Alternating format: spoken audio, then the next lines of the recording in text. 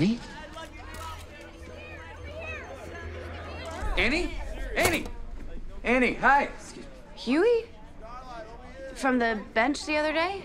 You're, uh, you're Starlight. That's, how did I not realize that? It's actually kind of comforting that you didn't.